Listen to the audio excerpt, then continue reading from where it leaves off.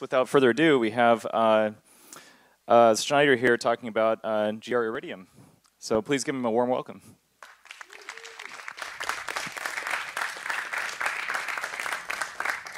All right. Hello, everyone.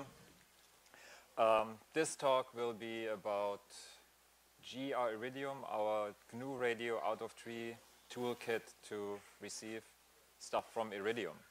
Um, and just maybe quickly about me. So I'm from Munich um, with the CCC there for now over 10 years. Have done first Blinky things and then more um, electronic embedded stuff. The badges for the camps was involved there.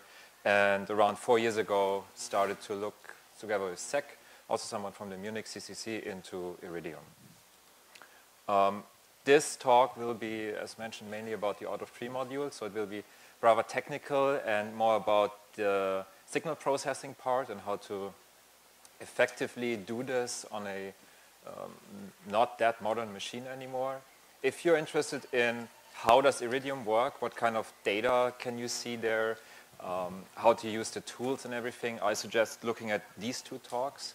We, especially the last one um, from the 11th Hope gives a good overview over the whole tool chain because the tool chain doesn't consist out of uh, on, doesn't only consist out of GR Iridium. There's also the Iridium toolkit written in Python, which is mainly there to make sense of the received data. So, um, quick introduction to Iridium. It has been up there for now almost 20 years. Um, I guess a few satellites are up 20 years already.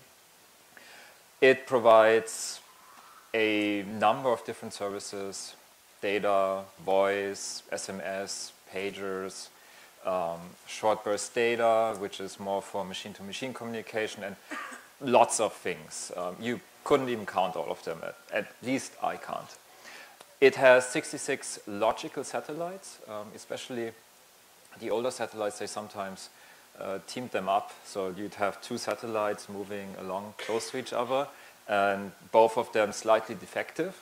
But if you put them together, they uh, make up for that, and then you have like still one satellite. It looks like one satellite to the receivers. Um, they are at the moment in the process of replacing all of these satellites um, with the Iridium Next satellites because these have reached the end of their lifetime. And so Iridium is there to stay and still probably for many years to come an interesting thing to look at. Gareth uh, just uh, was on the AMP hour talking about using uh, Iridium for tracking tuna fishing buoys.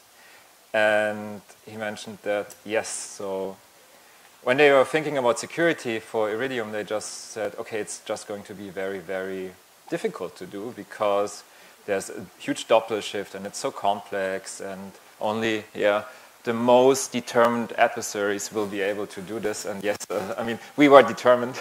and it, it took us roughly half a year to get from we have no idea about anything to we can at least decode something.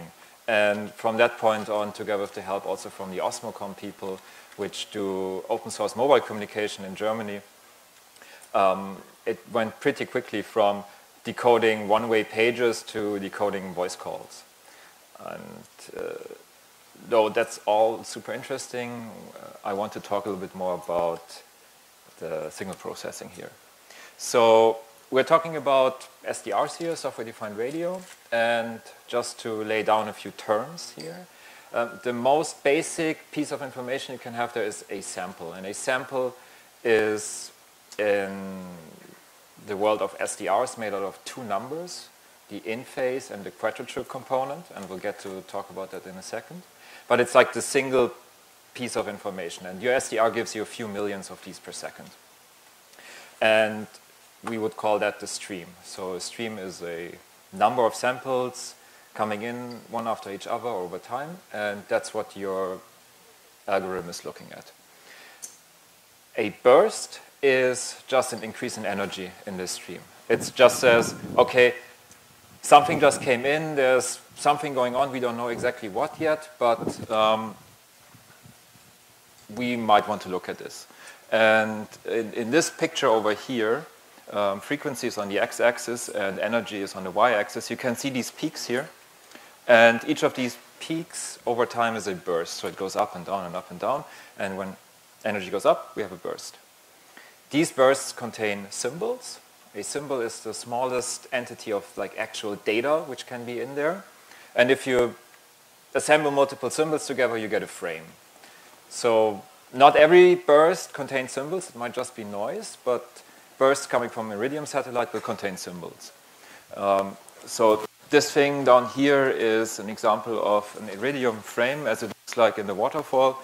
Um, it's just over time, how does this image evolve? And you just have a, um, a preamble with some static content and then the actual data. And if you throw this into our toolchain, you get this thing with just zeros and ones coming out of it, and that's uh, where the out of tree module stops. And if you put that into the Iridium toolkit, it will decode stuff and will tell you, okay, this is from following satellite and contains, I'm not sure, pager messages or um, uh, ring alerts for a certain device. Iridium uses just slightly over 10 megahertz of bandwidth. It starts at exactly 1.616 gigahertz. Then you have 10 megahertz of uh, duplex channels. This is where the actual voice data is and um, where most of the stuff happens. In these 10 megahertz, you get 240 channels. And above this, you get some special channels, um, specifically the ring alert and the pager channel, which have higher power. They are there to even reach into buildings and you know, at least ring a phone or deliver a one-way pager message to a pager which is maybe sitting behind a glass window. Um, we originally started look, just looking at the pager channel this is what we were interested in because you have these passive devices, they just receive something, and we were wondering who would use that. And I mean, you can, you can guess, I guess. So, um, and this is what it then looks like. You have, um, this is the animation. Um, every time this goes up, there's a burst, and you get hundreds of bursts per second, maybe a thousand of bursts per second. And uh, this is then starting to demand a little bit of uh, computing power.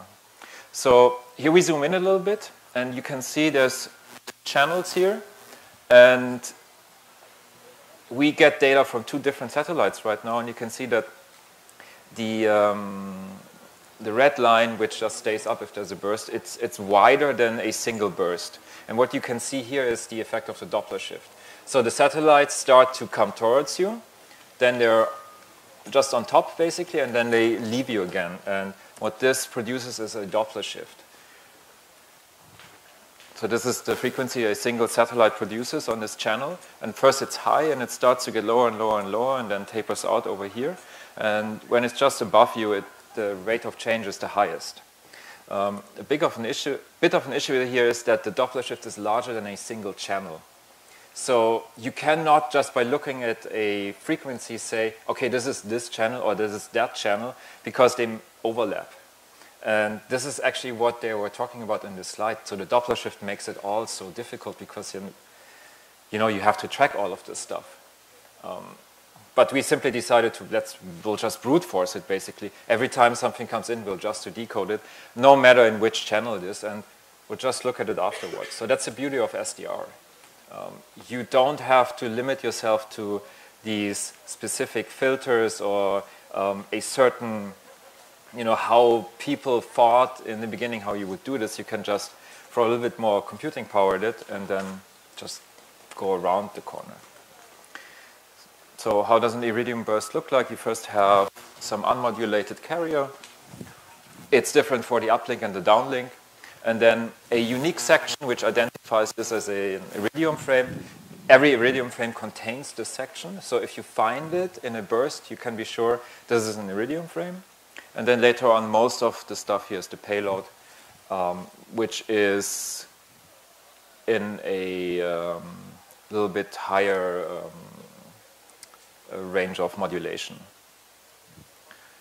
And now we'll get to a quick primer about IQ signals. So I mentioned that SDRs give you samples and they have an I and a Q component, an in phase and a quadrature component. And usually you would draw them on a, um, on a complex plane. So you put the Q component up here and the I component here. And every sample you get gives you a dot on this plane. Um, and to quickly give you an overview of how this then looks like. Let's see, is it this one? IQ.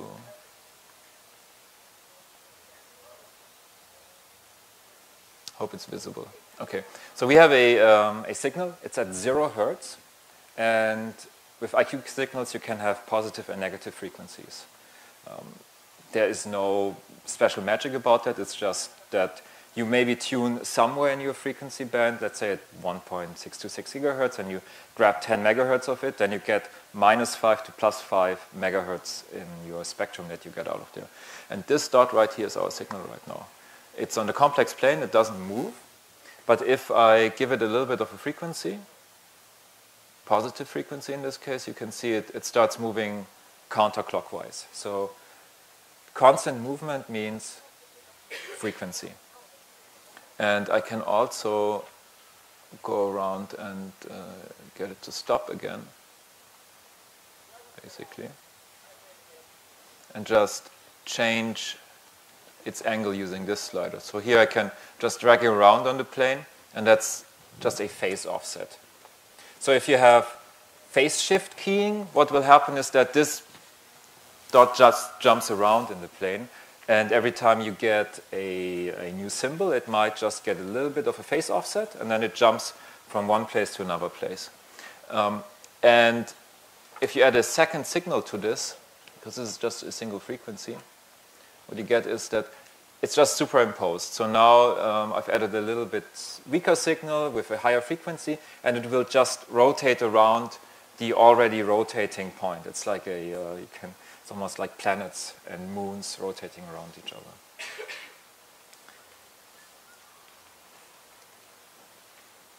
So a, a fixed rotation somewhere here is a phase shift. If it keeps rotating, you have a frequency shift. And the distance from the origin here is the amplitude. So the further away from the origin, the more energy your signal has. And sometimes you also see plots like these so we have a um, red line and a blue line here. One of them is I, one of them is Q. And they always come in pairs, and every sample here gives you one of these pairs. And over time, you can then see how the signal evolves. Okay.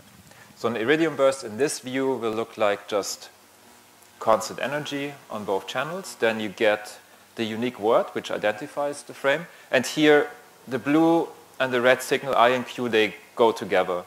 They stay on top of each other, and you only have high and low. And this is the unique word. And over here in the payload, you can see they start to diverge from each other. So sometimes you have the red one on top and the blue one on the bottom, or the other way around. And this means here, every symbol can encode four different states, or two bits. And over here, every symbol can only encode two different states, or one bit. So this is binary shift keying and this is quadrature shift keying. So how does the whole thing work? Um, you see in the animation where the peaks went up and down. And if you just you know, flatten that out basically, and up here is um, the beginning, and over time it evolves in this direction. Here you have the frequency, and the brighter it gets, the more energy you have. This is called a waterfall. And the first thing you do is you run an FFT, which gives you basically this picture for the, for the algorithm, and you just pick out some region where there's energy. And let's say we want to have a look at this, this thing over here. This is the signal we're interested in. And what we do is we just detect the energy. We cut out a little bit of our signal. Um, we leave a little bit um, of noise in front, and we leave a little bit of stuff behind so we are sure that everything is inside it, and we just mark the frequency where this burst happens. Then what you do is you rotate the whole thing. So everything which was on the left over there just rotated in on the right, And the signal which was over here, we've just moved over here into roughly the middle of our spectrum. This makes it easier for the algorithms to work with the signal. Almost all signal processing algorithms which uh, operate on these signals expect the signal to be roughly centered at zero hertz. This is where they want it. And this is the first step to just roughly get it there. Next step is we put a filter around it, so we throw away everything which is on the sides, and then we actually also reduce the amount of data which we are processing by just taking every 10th sample, for example.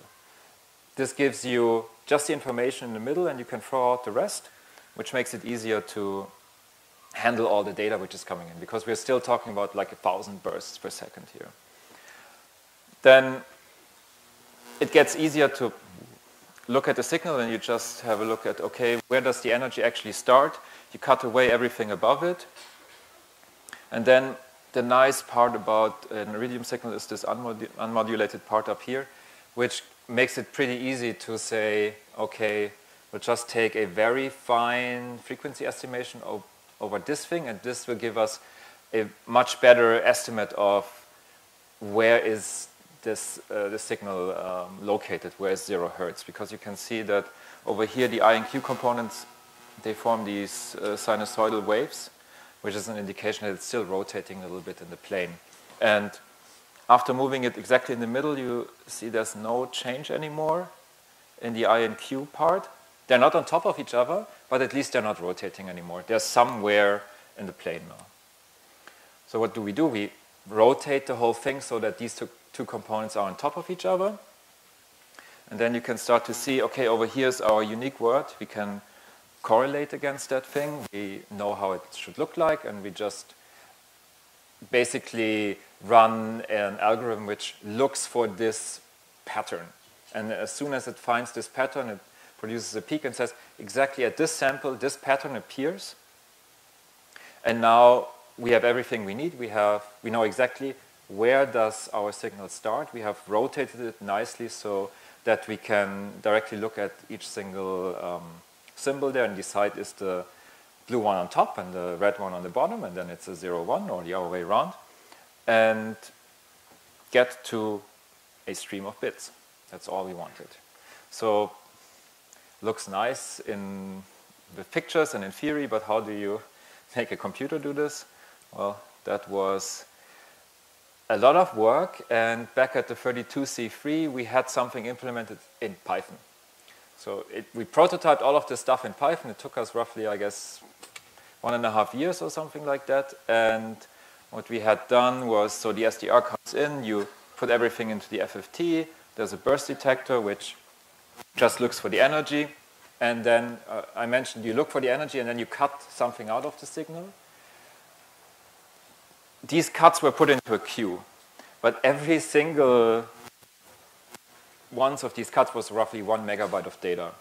So you get uh, a whole lot of, uh, of, potential iridium frames in here, and then it fans out into a, uh, a chain of filters and decimators, the down mixer who was just doing, you know, shifting it over and removing all of the excess data, finding the start and everything, and then just demodulating the, the data at the very end.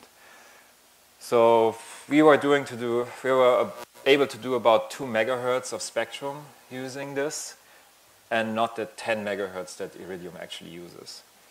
Um, so I sat down and thought, okay, probably it's a good idea to re-implement this in C++ and GNU Radio. Because while Python is really nice to prototype things, it's, and it's still not the fastest thing to work with, even with NumPy. And also what's very nice about GNU Radio is the ecosystem. So you get things like the Osmocom source. While in this picture, the SDR is actually um, plugged into this thing via a Unix pipe and it's an RTL SDR pipe Python script. GNU Radio offers you real integration with good SDRs, which also can do more.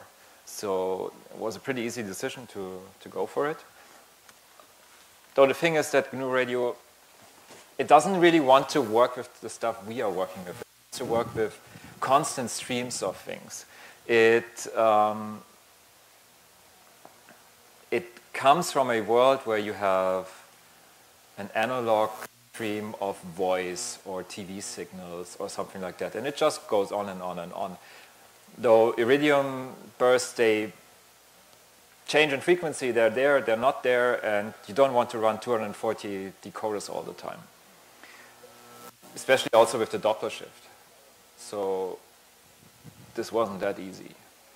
Also, the blocks which decode stuff actually want to have some data, they want to synchronize on it, and then they might throw the stuff away. But from that point on, they can fairly easily decode the rest. Though that doesn't work for us either, because every burst you have to basically decode from the beginning and you cannot throw away data.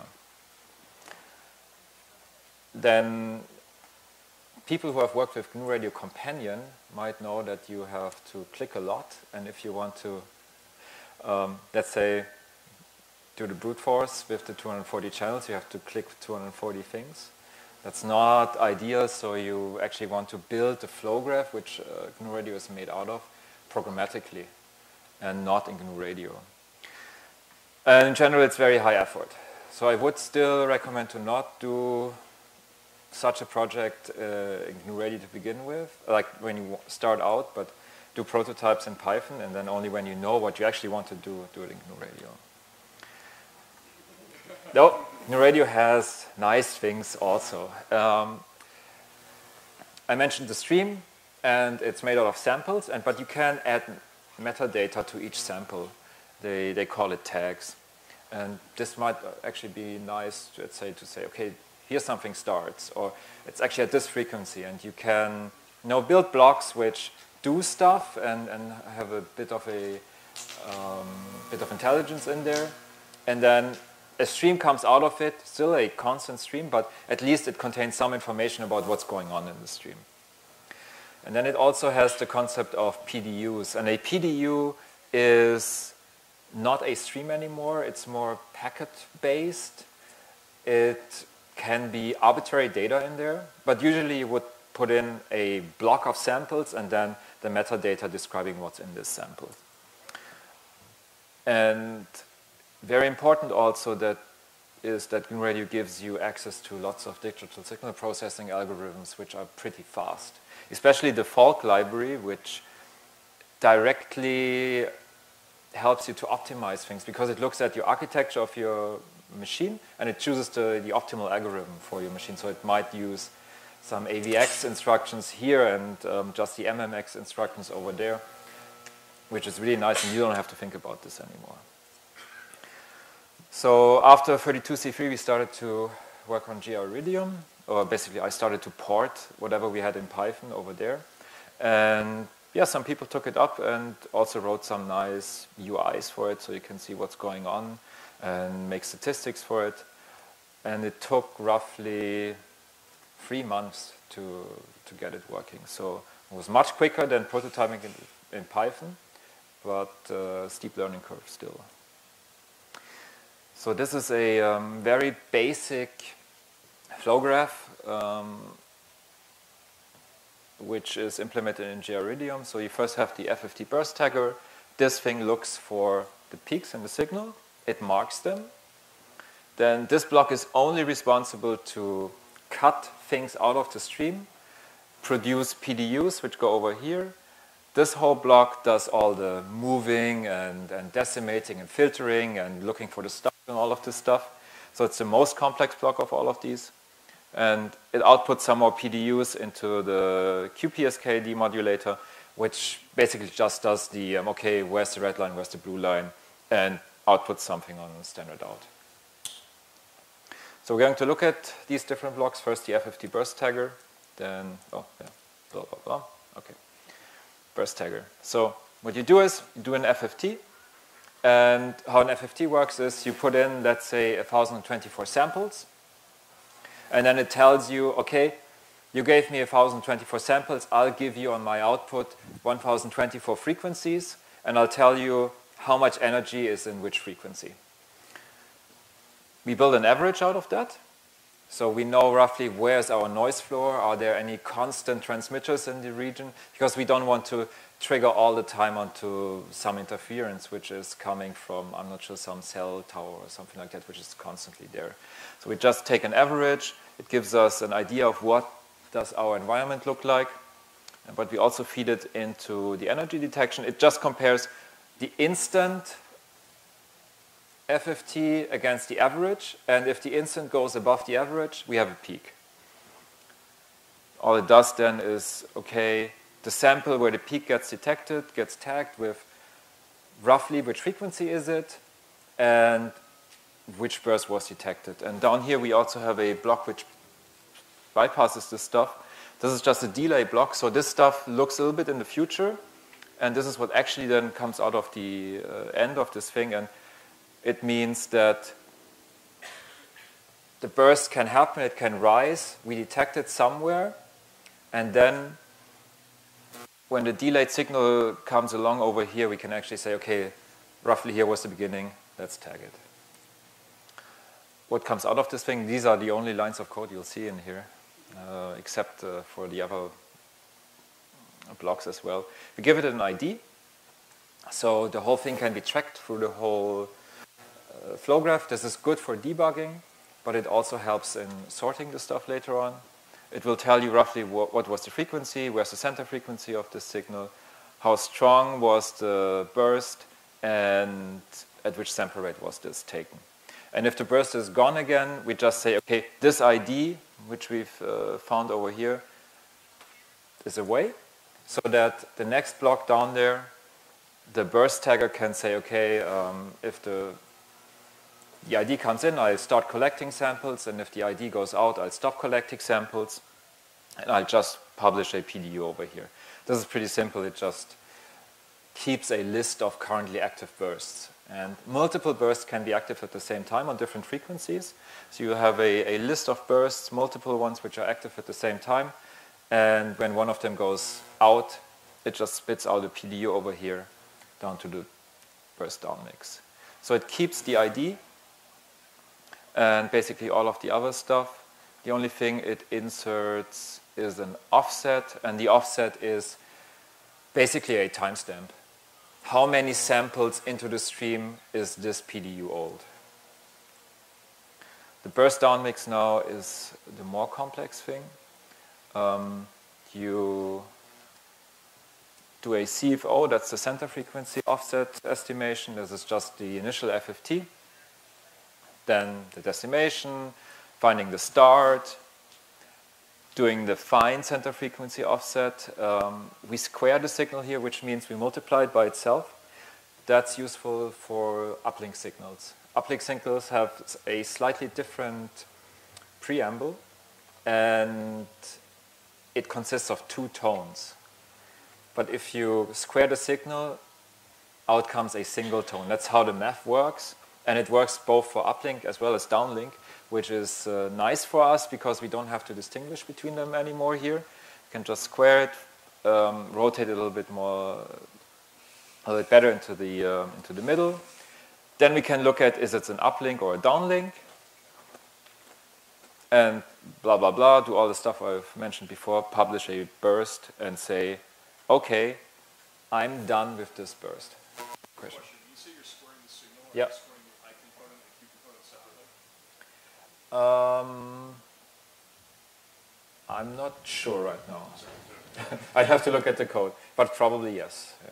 Oh, it's, it's a complex multiplication, right? You have these I and Q signals, you treat them as complex numbers, you just do a complex multiplication of I and Q. That's what's happening. The saying done over here is pretty important because if I just quickly go back over here, there's a um, back channel here. It's this arrow which goes over here. Because it, GNU Radio keeps a queue between this output and this input, and there's no limits to it. And the sender can actually not see how much is on my output, how much of this stuff has already been processed. And if you don't have a back channel, you just fill up this queue, you fill up all your RAM, and suddenly your machine freezes. Great. So this, this port over here, which uh, goes back there, just signals, hey, I'm done you can count that uh, one of the, out, the PDU you've created on your output has been processed. And if you want to limit the number of burst switches in this queue over here, that's the only way you can do it. So right now, for example, this produces maximum 500 outstanding bursts. Okay, what's coming out of the burst down mix then? You have um, the sample rate. It might have changed because we did some decimation. Center frequency stays the same. Direction tells you if it's an uplink or a downlink. It tells you exactly where is the first sample where the unique identifier starts. And offset is still an indication of how old or at which time this did this uh, frame appear in the stream. The QPSK demodulator first decimates the data and it decimates it to one sample per symbol. That means, I mean, you're only interested in is the I component, I component high and the Q component low, or the other way around, or they both low, both high? You don't need many samples to do that. But for the signal processing and to look at the, at the signal as a human, it's nice to have more points in between. So while you have these, you know, you can see this thing goes down, there's lots of points and it goes up again. Actually, these points here in the middle, or these samples are not of value. They don't have any additional information. You're actually only interested in, okay, over here, here, and here, you, because you can see that there's some periodicity to it. And you only need to sample this sample, this sample, and this sample. So the first thing we do is we throw away everything else. But how do you actually figure out which one of these is now, where is the right point to sample? And that um, was told to us by this um, unique word start thingy that comes out of the burst down mix. It tells us exactly which sample is it that we should start with. And then you know exactly, okay, it starts over here and we know exactly our sample rate. So we you know, want this, this, this, and this sample. Everything else we can throw away. Then we remove any remaining frequency offset. And here I have to say that most of the stuff we do here, you could do quite differently. Um, it's just the easiest way we came up with to do it, and um, a real receiver wouldn't do it like that. And I'll quickly talk at the end what a real receiver wouldn't do here. So we removed the frequency offset. And I mentioned that the samples you can draw on a complex plane and a perfect QPSK signal would just do this. It just wanders around on these four points and we've decimated it already to one sample per symbol. So we just look at each one of them after each other and you can say, okay, um, so it starts with 1, 1, 1, 0, 0, 1, 0, 0. Fine, everything perfect. But if there's a frequency offset, what's happening is this your point starts to rotate.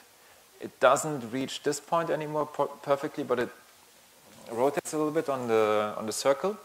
And every time there's a sample, it rotates a little bit more. Up until the point where it actually wanders from this quadrant over to this quadrant, and now your decoder will probably say, this is not a 1-1 anymore, this is a 0-1, and everything you do will be skewed from that point on. But there's a pretty easy way to rectify that. You just take, you look at your, your sample and you say, okay, it's over here, but it's in this quadrant. So I'll just note that this was around 20 degrees off and just remember that. And the next time a symbol comes in, which is the red one over here, I, I know already I have to rotate it by roughly 20 degrees. You get the yellow symbol, and then you look again at which quadrant is it. Okay, it's this quadrant. I now know by looking at the distance of these two, it's 40 degrees off. And you do this over and over.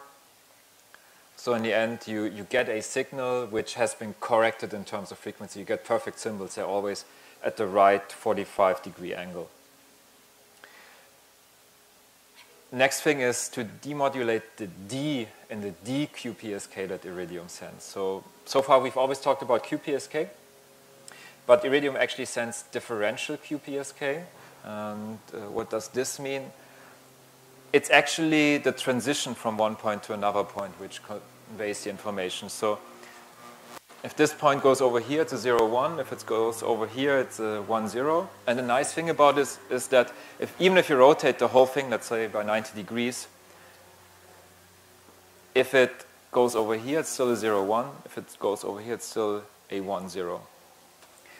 This is useful if you don't actually know which way it's oriented right now. Um, we,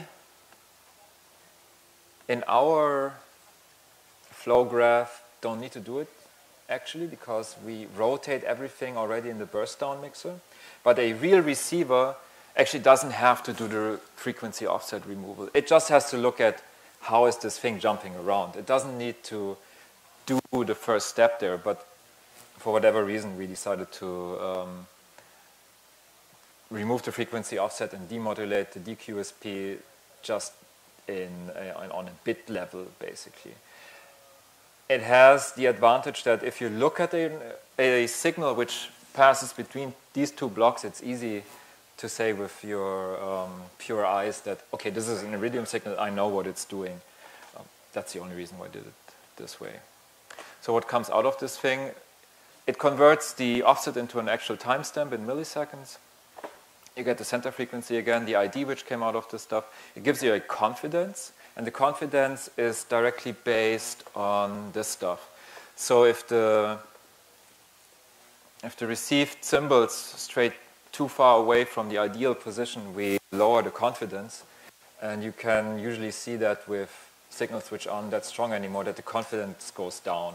We um, give it a percentage, and a 100% confidence tells you that the symbol was always very close to the ideal position, and when the confidence goes down, you know, there was lots of noise on there and it didn't work that well anymore. Now, the um, flow graph you saw before basically looks like this. You have the source, you have the burst tagger, you have the burst to PDU, then there's the internal GNU Radio Q, burst down mixer QPSK, QPSK demod, and while GNU Radio gives every single block of these its own thread, this flow graph will only give you roughly um, two cores, uh, will max out roughly two cores on your machine. Because mainly the burst down mix over here will limit everything. It's the most complex block. And it will just take one core, will constantly spin, and the rest does nothing. So we thought back to our Python toolchain. How do we, how did we do it there? Yeah, well, you just have multiple burst down mix, and the queue before it stays the same, and they can all share the same QPSK mode. This works, but the problem is that at this point over here, you get enormous amounts of data because the FFT burst tagger, every time there's a burst, and there can be multiple bursts at the same time, issues some um, some PDU, and you easily get over 10 gigabits per second of data just flowing between your cores now. And I believe that was slowing down everything here. But GNU Radio has a nice component. It's the polyphase channelizer, which will help us here a lot. And that was also one of the reasons uh, we chose GNU Radio, because to make use of this component. I'll give you a quick demo of what this thing does. It's a very cheap way in terms of computational effort to split a single stream into multiple streams. So down here I have a signal at zero hertz, and up there there's three different um, channels, which are the output of the filter bank. And if I move the signal, it moves from one of these outputs to another output. And you can see that each of these outputs has now one third of the width of the original input signal, which makes it very nice as it allows us to put all of the stuff on each of these outputs, but each output has a lower sample rate. There's less data. So if you take a one millisecond span of samples over here, you have just one fifth of the data on a one millisecond sample, uh, span of samples over here, which lowers a lot the, the data rate between the different cores. Though a bit of a problem is that the, this filter bank, it has very sharp edges. We know, though, that the Doppler shift can just fall between different channels. So if you have sharp edges on these channels, you might have a signal or a burst which falls between two channels and it will get lost because one part of is in one channel and the other part is in the other channel. So what do you do? Um, the nice thing is here you can have an overlap. You can design these two filters in a way that, or these two channels that, um, so same thing again. At a signal, if I move it over here, oh wait, this thing. It starts, uh, I moved the wrong slider, no, the parameter is wrong. Okay, it's this thing. So if I move this, this signal around, you can see in the middle in the stream it, it moves to the left as usual, but here it starts to appear already over here. And if you imagine that this thing was a little bit wider, a few kilohertz wide, it's already in the reach of this channel and about to go out on this channel. And this is how we can decode stuff which has a Doppler shift. It will just potentially decode on multiple channels, but it will for sure decode. And later on, we just throw away the duplicates. I'm not going to go about the design of these things because we probably don't have time for that. But this is how it looks now. Um, we have the FFT burst tagger and then it goes directly in the polyphase channelizer and which outputs a number of streams, all of them having slightly lower sample rates. And now we only are around at 3 gigabits per second between these two blocks. And this now allows us to on a single core, sorry, four core machine from 2010, decode the whole band. So we feed it with a um, 10 megahertz wide signal, and it produces uh, in its peak up to 1,000 to 2,000 actual iridium frames and 20 to 25 millions per day. This is what we see in Munich. I could imagine that in a more busy area, let's say a harbor or close to the coast, you would see more, depending on what's going on. It's pretty much exactly uh, making use of the four cores and still sometimes overflows, but very seldomly, at least for us in Munich. So good enough for us, and anyone who wants to have a bit more performance can just uh, buy now, buy more cores, right? So that's fine. um, looking into the future, um, this approach will have its drawbacks. Iridium Next will have new modulation types. Uh, there's a few FCC documents which, which describe that, and they are talking about up to 240 kilosymbols per second. So right now we are over here, oh, we are at 25 kilosymbols per second. That is what Iridium on a single channel at the moment. And they're talking about roughly um, times 10 over here. And a bit of an issue is that our current toolchain, it does not track the connections. So it just assumes everything which comes down and is a burst is at 25 kilosamples per second, or kilosymbols per second, and tries it. And if it doesn't work, it didn't work. If it worked, it's fine. But Iridium Next will have new modulations, and the current toolchain will not know how to deal with them nor will it know that a specific traffic channel, maybe from some satellite, actually is on this new modulation. We'll have to see. It's not live yet. I haven't seen any Iridium Next frame on the air yet, but the moment at least they will um, be in the air in Munich, we'll, we'll start to have a look at that. Um, what else? So you can spend an enormous amount of time on this stuff, also the layers. Um, there's dozens of services on Iridium. And we had a look at voice, data, pages, SMS, uh, the GSM layer there, but there's still lots of stuff we don't know about. And we have no intention of looking at this stuff anymore because it's just like, you know, one more service, one more niche thing that Iridium supports. Though there's one thing, and that's Iridium Burst, which is going to, oh, I think it's active, I'm not 100% sure. It's a one-way communication channel again, where you might have a burst which is global where you can say from your web browser or somewhere, I want to send down this signal across the whole planet, and every receiver which is authorized to receive it should receive it and you know, do something or display something. They call it Iridium Burst. they, um, in fact, over here say only authorized devices belonging to the specified recipient group can unscramble the transmission. Unscramble. So I don't read decrypt or anything like that here. I'd, I'd, really love to get my hands on an Iridium Burst device and see what it does. So if anyone you know works in the field and um, has access to this stuff or can make a recording, we would be very interested. The application, like whoever uses this stuff must have very interesting applications, I'm sure. Hmm.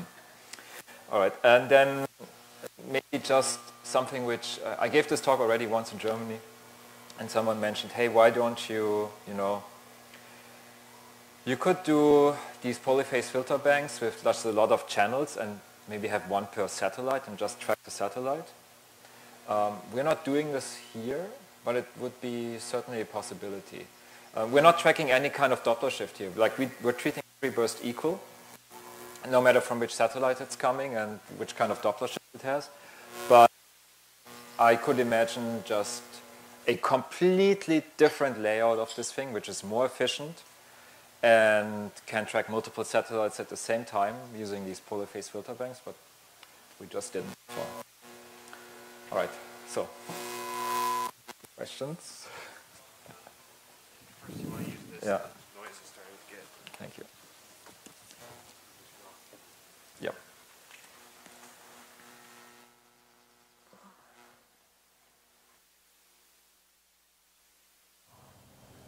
Over there. Yeah, thanks for this excellent talk. Um, just kind of going off of your last point, would it be possible to implement, I'm not sure how, how channel allocation works among the network, like the downlink, downlink and all that.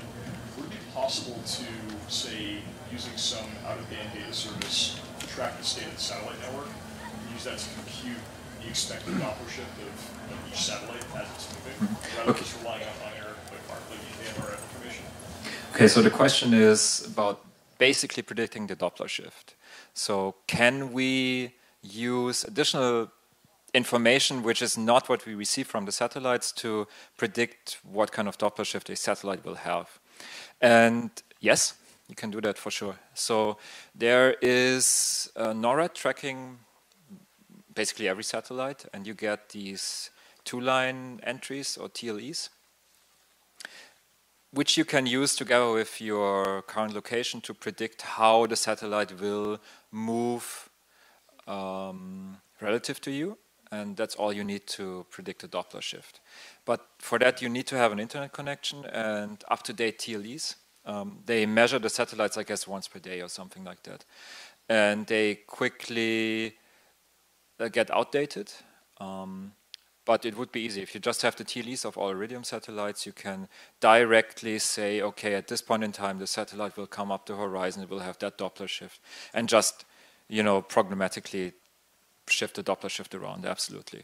Um, though, I mean, I use this stuff every now and then, you know, in a car or, or somewhere, just, you know, plug the thing, turn it on, and then I want to have some data. I don't want to get online and get new TLEs. But absolutely, that would work. So specifically for a um, stationary receiver, that would work, yes. Anyone else? Again? Is Iridium Next a public standard, or is something you have to reverse and figure out? Uh, question is if Iridium Next is a public standard. So um, none of this is a public standard. Neither Iridium nor Iridium Next, it's all proprietary. There, of, of course, are specifications, but they are kept within Iridium. Everything we did was based on looking at bits and trying to figure out what's going on. So I do not expect anything coming from the Iridium Corporation which will detail how Iridium Next actually works, except you know anything they they're uh, forced to do. So this table is out of a rather comprehensive PDF which describes the beam patterns and the used modulations and uh, and stuff like that. But that's where it ends. It never tells you what's inside there, how long are the bursts, um, what kind of error correcting correction is used. Uh, fun fact also, the whole internet says that Iridium is using a convolutional code um, to protected stuff. I mean, in terms of error correction, but that's just plain wrong. It never does, nowhere. Maybe between satellites, but like everyone is copying this information from everyone else, and everyone thinks it's true, but just isn't.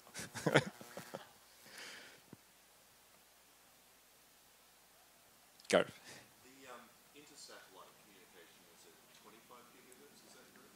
Um, which frequency is the inter-satellite communication? I'm not sure, but it's somewhere. I'm not sure between 18 and 25 gigahertz, something like that. So the question is, do you, do you think that one day we get to play with devices that will do those kind of frequencies? Like what's you know, Hmm. how long do you think it'll take to get So- So can can we, you know, listen in on that basically at at which point? Um, we've never tried. It's I, I you know it's not magic, right? But I'm not sure. It depends also on how tight their beams are between the satellites. If you can look basically, you know, just at the horizon and um, and catch one of these beams, I don't want to say no. Uh, it also crossed our minds, obviously, but I think it's going to be pretty tough, if possible at all. Yeah. Sorry. Uh, you mentioned with your Py- uh, Python prototype that you could uh, receive up to 2 megahertz of a 10 megahertz band. Um, and I'm wondering, when you went to your C++ uh, implementation with GNU Radio, was that going to allow you to receive more? question is when we went from our Python implementation, which it was already parallelized at that point, did like two megahertz or two and a half megahertz of spectrum, and moved to the GR Iridium one, how much improvement was there? I don't know anymore, to be honest. Um, it's easy to try. You just set decimation to one, which means no decimation, and you get um, like the the initial thing I showed. But yeah, I don't know anymore. Yeah. So just going back to the beginning, I, I think I recall you mentioning your initial Python prototype uh, ingested data from the. Um, I, I gather from that that it had enough, uh, enough dynamic range to be able to, to hear these satellites. I'm wondering how much it improved when you're able to do like a USRP or a more, uh, more professional frequency hardware. Question is how much improvement was there from an, going from an RTL SDR to a like more professional grade SDR? And w- what I can say about that is that at the moment we're not using a professional grade SDR at, at all. Um, so we were using the rad1o badge in, in, in Munich, and it's a formidable Iridium receiver, really. Um, you are more interested in the antenna, in fact. So this is a modified GPS antenna with the GPS filter removed, an Iridium filter inserted, and also the patch antenna changed to an Iridium one. And this is the most important part of the system. It's not so much how much dynamic range does your receiver have, it's more how good is your antenna. So this thing has 8-bit ADCs also, just as the RTL SDR has. And we've tried with a bladeRF, which has, I think, a 12-bit ADC. And it didn't give us really significant improvements. So that's what I can say about that.